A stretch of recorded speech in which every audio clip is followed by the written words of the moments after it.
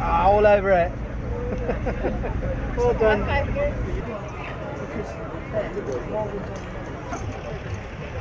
Steady! Hold! Hold! Hold! Hold! Hold! One, two, three, pull! One, two, three, pull! One, two, three, pull! One, two, three, pull! One, two, three, pull! One, two, three, pull! One, two, three, pull! One, two, three, Come on! One, two, three! Go on, bit further! Bit further as well! That's it! Come on! Come on!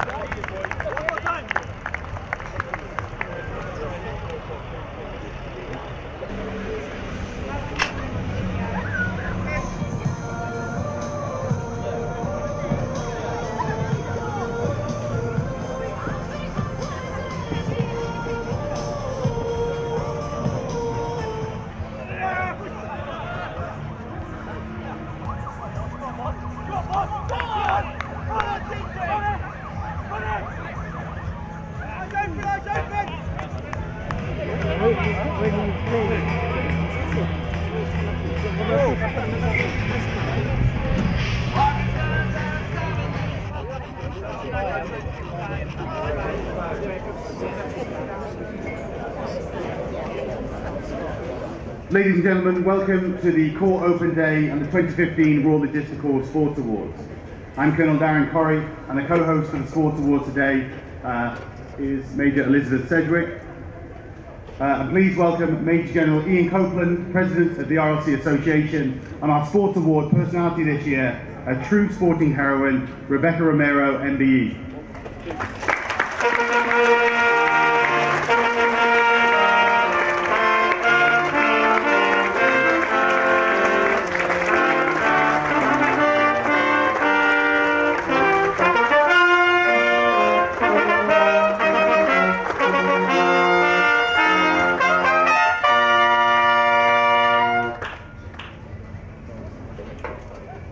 Time in many years, we're free of the big operational commitments in Iraq and Afghanistan. Seems like every year we say a huge amount of people can't be here because of those commitments. But nevertheless, the Corps continues to be extremely busy. Uh, the response to the Ebola crisis in Sierra Leone demonstrates our readiness to do anything and anywhere. And of course, we still have a lot of soldiers deployed on operations and supporting training around the world. and hot foot from their match this morning versus the RLC Reserves. The Massey League trophy winners for 2015 are the Royal Logistical Football Team.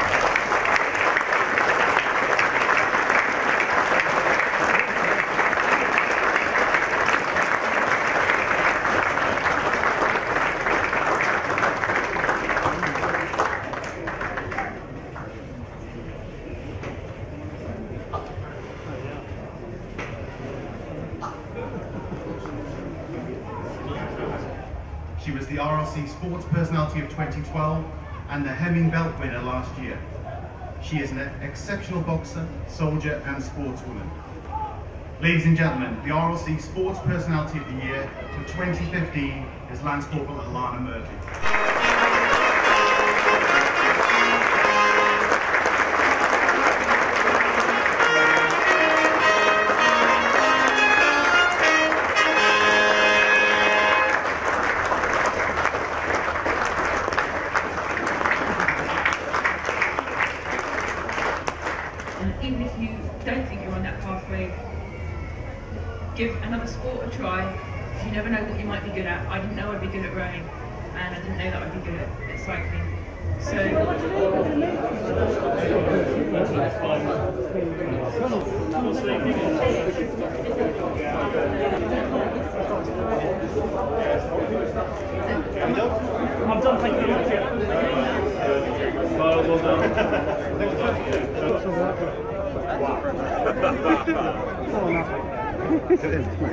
It's Carlin. giving me awards. Ice cream. Ice cream for everybody. Cheers, sir. Yeah. You the only No, no, no.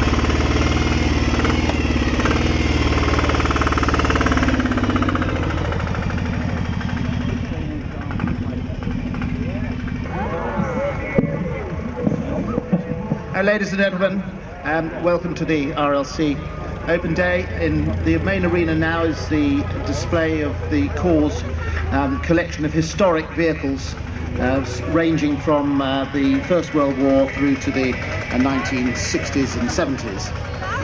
Uh, leading, though uh, somewhere at the tail end of the procession at the moment, is the iconic General Service Wagon, the, the, the Ford Transit of World War One.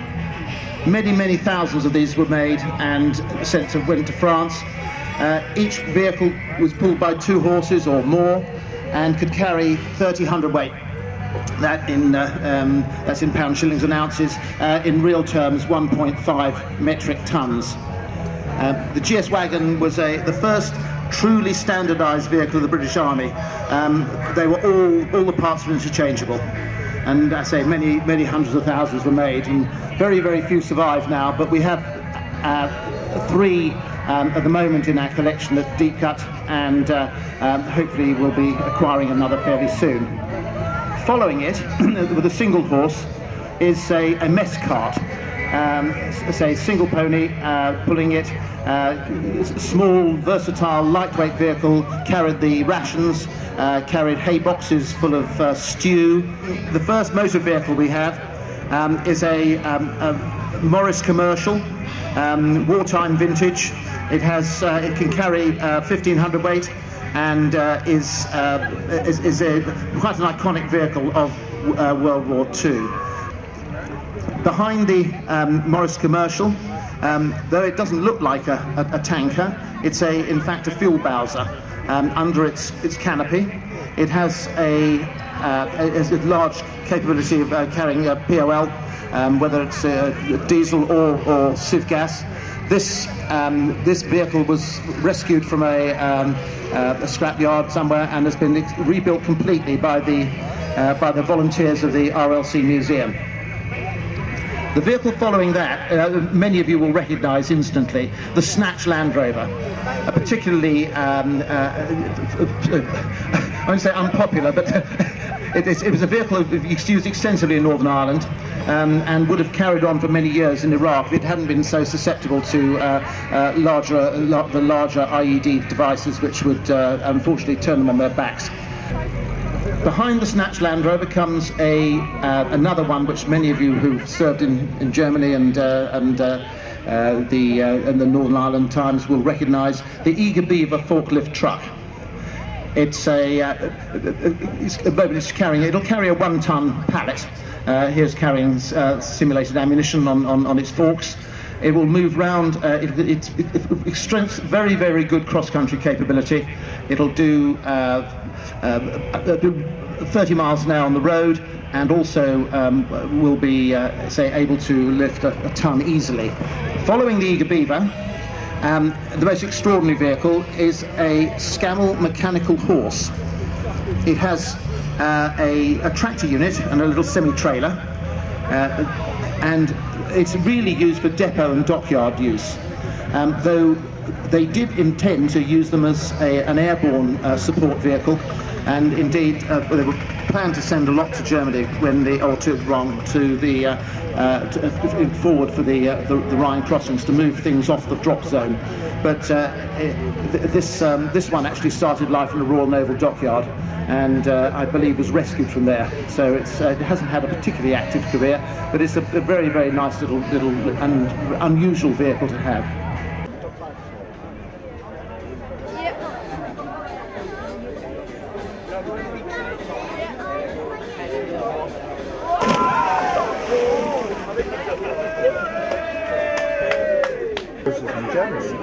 It's, it's back over, but it's in the northern one, so the Grand, Grand side. so the inspector team's coming over, it's in the northern one, so we're doing a look. Yeah, you've got too far to drive. Uh, He's good at bomb.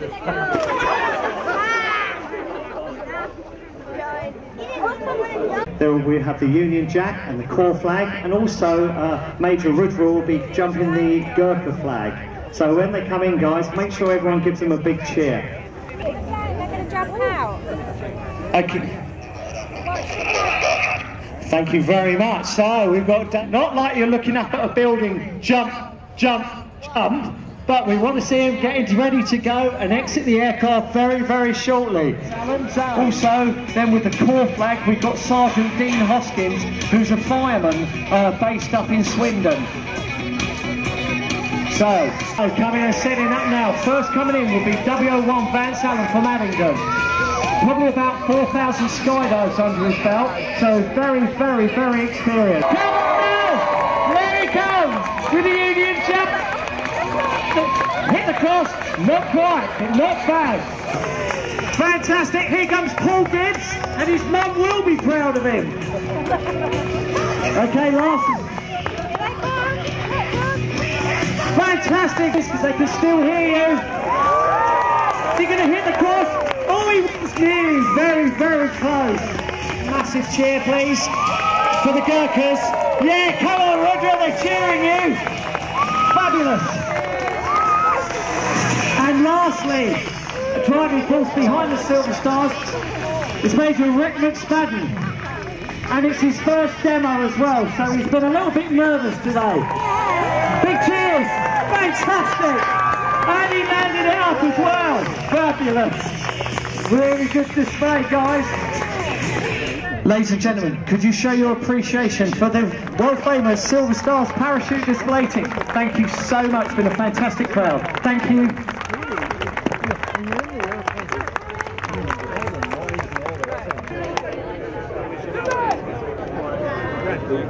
Up somewhere else? Has been donated. Nothing in here was bought as such. We've had like um, the young man's medals there. Um, we paid to have them mounted and everything. And the young lady from the family went, if you ever need them for shelter or you need them to go anywhere, just let us know. All of them around the 90 centimetre mark now.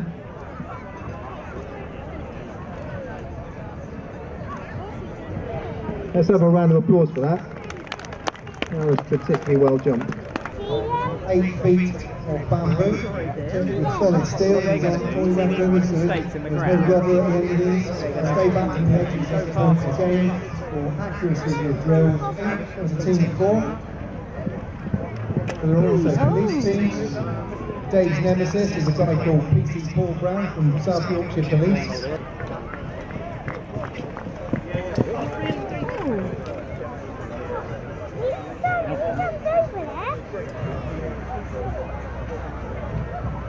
Of one element of sword, lance and revolver. There's a 3 8 special blank firing pistol, and the aim is to get over these jumps, pop the balloons to go over, and it's purely the discharge, no, there's no projectile, but it's just a discharge from the barrel each time he fires, which produces enough effect to puncture the balloon.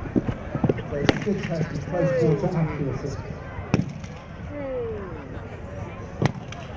And he's done extremely well there. 82 squadrons support 3 para, and in the same manner, 63 squadrons support 2 para in the battle uh, exercises, operations around the world. The troops are manning the Jackal Mobility Platform, use of force protection and mutual support, and combat logistic patrols.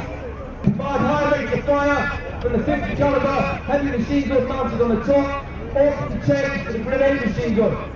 The quad bikes themselves then are used for urgent am- ammunition resupply to the front line and to get urgent supplies forward, and also used as casualty extraction from the battle state. The contract, the forward into and the enemy. Three zero Foxtrot. The air uniform nine one zero seven five effect immediately over. Three zero Foxtrot. Roger. Firing. Over. Sergeant Knox, the captain behind, commander, Corporal Plot from 82 Airborne Troop, the driver, Lance Corp Tamari, 63 Airborne Troop, the heavy machine gunner, Private Miller, 63 Airborne Troop, the Corp behind, Lance Corp Church, 63 Scotland Airborne Troop, behind, Lance Corp Material, the commander,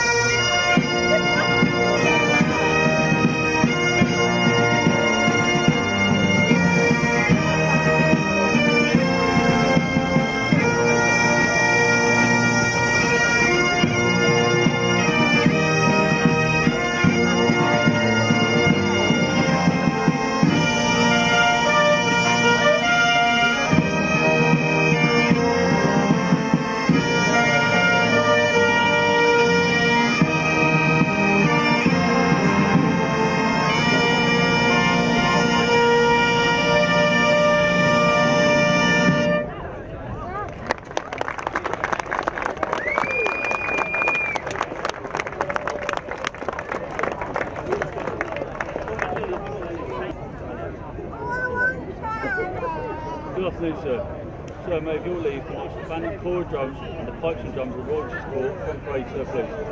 Thank you very much. As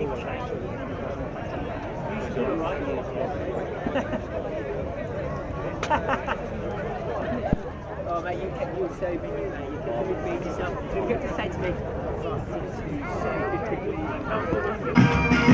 me, Ladies and gentlemen, show your appreciation for band and corps of drums for the Royal Logistic Corps and 152 Richmond Pipes and Drums.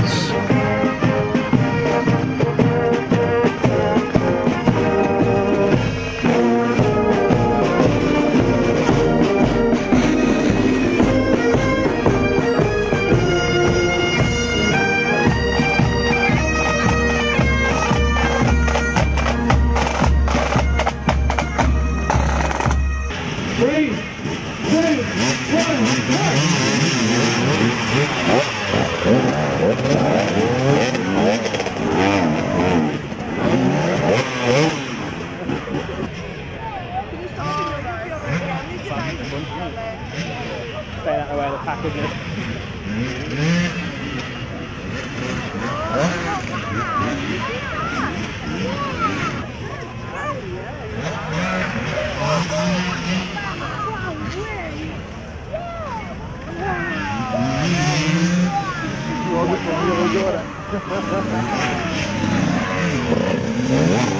it?